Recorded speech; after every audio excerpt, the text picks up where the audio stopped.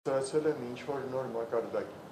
Հետահայաց ցուցադրությունների այս շարքը ազգային կինոյի քարոզչությունից բացի գործակցության նոր ծրագրերի առիթ է դարձել։ Մադրիդում ռետրոսպեկտիվից հետո կնքված համալզայնագրի արդյունքում ամեն տարի այստեղ կներկայացվի հայկական վավերագրական կինոյի հատուկ ծրագիր։ Իսկ իսրայելցի գործընկերների հետ նախատեսել են ոչ միայն 10 ուսանողների, այլև խաղարկային ու փաստագրական ֆիլմերի փոխանակում իրականացնել։ Հայրենիքի բաց վերքերին ազնիվ հայացքով նայելու իր սկզբունքին ռեժիսորը հավատարիմ է նաև նոր «Անվերջ փախուստ, անվերջ վերադարձ» ֆիլմում, շարունակելով 20 տարի անընդմեջ հնչող հարցերի պատասխանների փնտրտուքը։ Ինչու են հայերը հեռանում հայրենիքից։ Օտարության կամ միայնակության խնդրեմը ամենտեղ է։ Փախնում ես գազում ես թե միայնակությունից կամ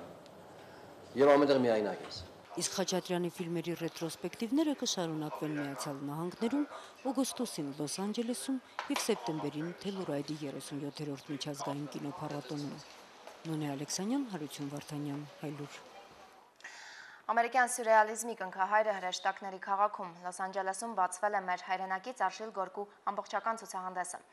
Այս ռետրոսպեկտիվ ցուցադրությունների շարքը մեկնարկ ստացավ դեռ Մեծ Բրիտանիայի մայրաքաղաքում Միացյալ Թագավորություն նախագահ Սարգսյանի այցի ժամանակ։ Վանի ափին գտնվող փոքրիկ գյուղում ծնված վրցնի մեծ արտիստի կյանքի դրաման ամերիկացիների համար դարձել է պատմության դասագիրք։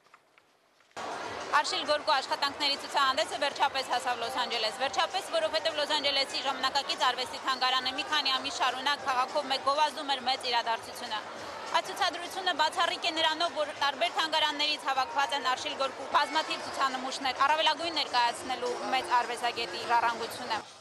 Արշիլ Գորկու ավելի քան 120 աշխատանքները Լոս Անջելես են բերվել ոչ միայն տարբեր թանգարաններից, այլև անձնական հավաքածուներից, նաև Գորկու կնոջ ջանքերի շնորհիվ։ Ցուցահանդեսը ներկայացնում է նկարչի ստեղծագործական 25-ամյա գործունեության ամբողջ ընթացքը, սկսած 20-ական թվականներից։ Նման մեծ ընդգրկմամբ ցուցադրություն վերջին անգամ եղել է մոտ 30 տարի առաջ, եւ հայտնի չէ երբևէ հնարավոր կլինի նորից մեկտեղել այսքան աշխատանք, ասում են մասնագետները։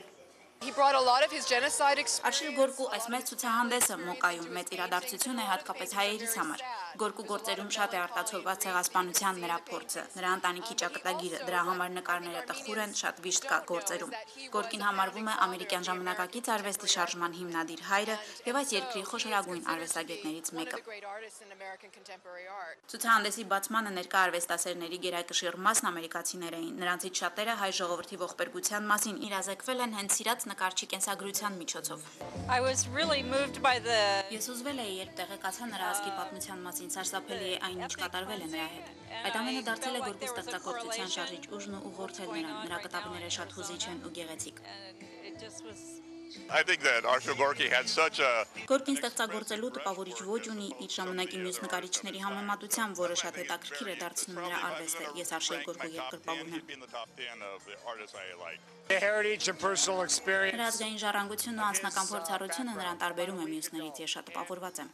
Գորկու արվեստի երկրպագուները տպավորված են ոչ միայն նրա կտավներում արտացոլված դառն անցյալով, այլև ամերիկյան տարիների կենսագրությամբ։ 18 տարեկանում Նյու Յորք հասած ցեղասպանության ականատես երիտասարդը ընդամենը 5 տարի հետո սկսեց դասավանդել Նյու Յորքի առաջատար դպրոցներից մեկում եւ կարճ ժամանակ անց առանցքային դեր ստանձնեց ամերիկյան արվեստը դեպի աբստրակցիոնիզմ տանող շարժման մեջ, դնելով աբստրակտ էքսպրեսիոնիզմի հիմքերը։ Ոստանի Կադոյանի մասին այստեղ գրում են. արվեստագետով զարգացրել է ինքնատիպ ու տպավորիչ վիզուալ լեզու, որը ներշնչել է արվեստագետների մի ամբողջ սերնդի եւ ում գործերը ցույց են տալիս, թե ինչպես կարող է կտավը հուզական լինել լիք հնարերգությամբ, միաժամանակ հզոր իր տրագիզմով։ Արշել Գորկու ռետրոսպեկտիվ ցուցահանդեսը Լոս Անջելեսում կմնա 3 ամիս մինչև սեպտեմբերի 21-ը։ Լիլիթ Սեդրակյան, Վարդան Իսմայելյան, Հայլուր, Միացյալ Նահանգներ։ Ով ավելին գիտի Vivassel եւ HTC ընկերությունների մասին։ Մայիսի 18-ից Bravo.am կայքի հայտարարած մրցույթին մասնակցած 28 մրցակիցներից երկուսին է հաջողվել ստանալ գլխավոր HTC հերո եւ թատու մրցանակները։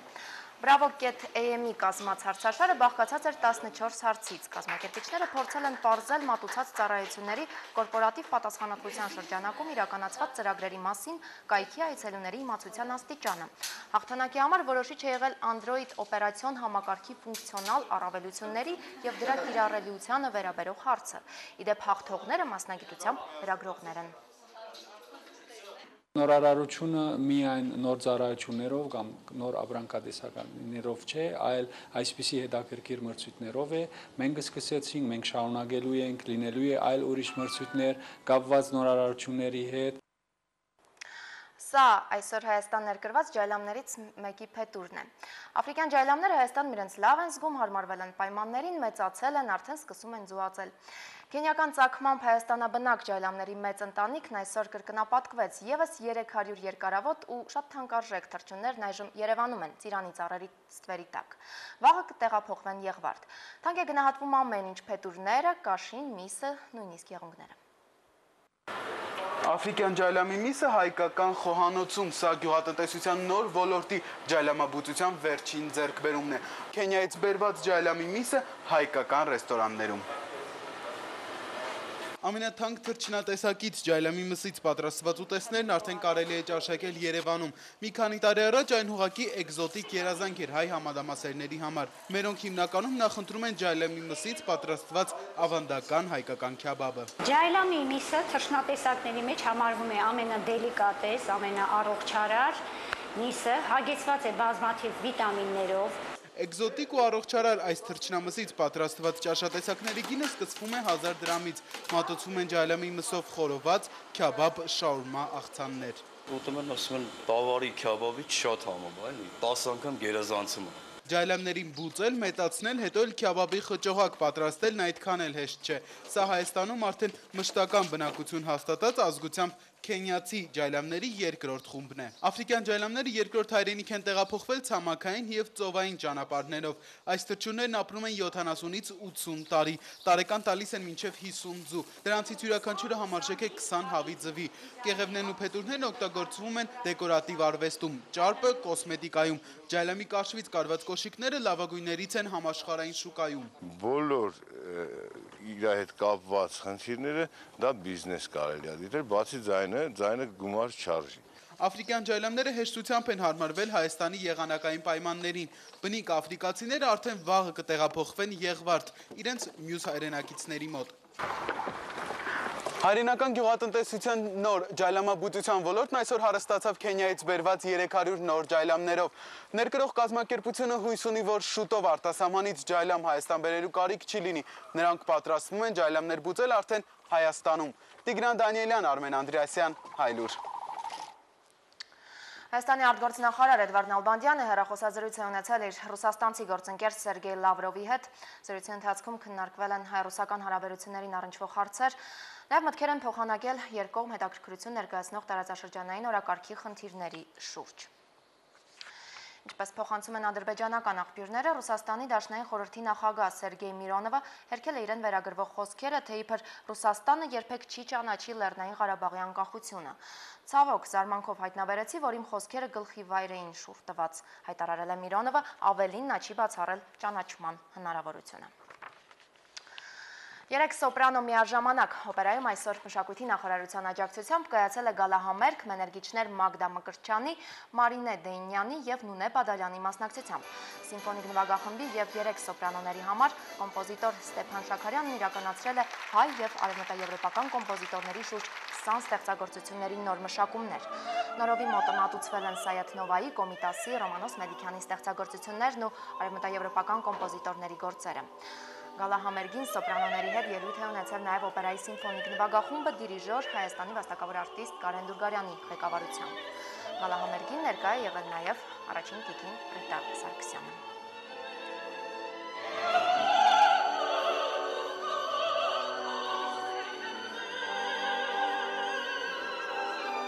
Մենք ունենք Հասմիկ Պապյան, մենք ունենք Ջահասպանյան, հա, այսպես լավ երկչույներ ունենք մենք Աստված մեզ տվել է այդ ամենը։ Ֆուտբոլի աշխարհի գավաթի խաղերին ընթരാճ բրիտանացի երիտասարդ նկարիչը բավական ինքնատիպ տարբերակ է գտել Անգլիայի հավաքականի մարշչին պատկերելու համար։ 20-ամյա երիտասարդը Ֆաբիո Կապելոին նկարել է իտալական խոհանոցի բաղադրիչներով, մակարոնով եւ բոլոնյան սոուսով։ Ուելսի համասարանի խոստումնալից ուսանողը մակարոնով կտավ է ստեղծել, իսկ սոուսով նկարել։ Գուցե համեղջ է, բայց հաստատ զվարճալի է։ Իդեպ ֆուտբոլի աշխարհի առաջնության մեկնարկին մնացել է ընդամենը 2 օր, հիշեցնեմ, որ բոլոր խաղերը կցուցադրվեն առաջինի ուղիղ եթերում։ Այսպեսին էր աշխատանքային թորեքշապին մնացեք առաջինի հետ կհանդիպենք կեսգիշերն անց։